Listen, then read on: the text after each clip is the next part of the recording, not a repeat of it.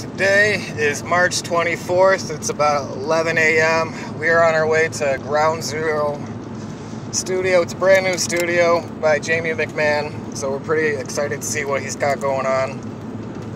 We are on our way to record our first full length album.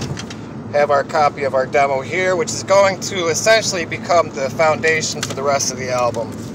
This album's about two years in the works, so we're pretty excited to finally get here and do it. Uh, we've been writing, we actually finished writing a recent song here lately called Blood of the Coin. We actually finished writing that about four days ago. As you can see, Lale has on his drum pieces back here. He is driving, and we are on the 490 to go to Rochester.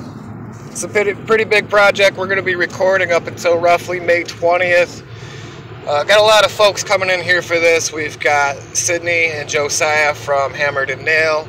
We've got Grant from the Dreadnecks coming in, and we've got Lenny playing a little trumpet from Kaiser Soze project. So stay tuned. We'll be doing some updates and telling you guys how it's all going. As you can see, we got our coffee. We are good to go here. And uh, make sure you follow our channel where we will be posting about the album and we'll have it out in summer. See you guys soon.